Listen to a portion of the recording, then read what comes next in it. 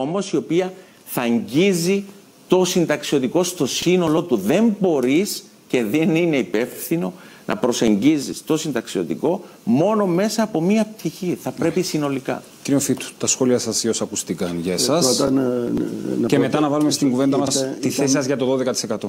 Ήταν παράληψή μου να, να μην αναφέρω τον κύριο Χριστοδουλίδη, όπως και τον κύριο Μαυρογιάννη. Ο κύριος Μαυρογιάννης ο υποψήφιος του ΑΚΕΛ και ο κύριος Χριστοδουλίδης ο υποψήφιος του ΔΙΚΟ της ΕΔΕΚ και διαφόρων άλλων. Δεν είμαι υποψήφιος ε, του ΔΙΚΟ της ΕΔΕΚ και διαφόρων ε, άλλων. Είμαι ανεξάρτητος. Τις δύο βάρκες ε, σε όλα τα ζητήματα. απαντήσουμε για τις, τις δύο, βάρκες και, και ανεξάρτητος και συναγερμικός και υποψήφιος του ΔΙΚΟ και της ΕΔΕΚ. Ε, αυτά τα κρίνει ο πολίτης. Ε, θα λύσουμε το πρόβλημα με το να φορολογήσουμε τα υπερκέρδη για να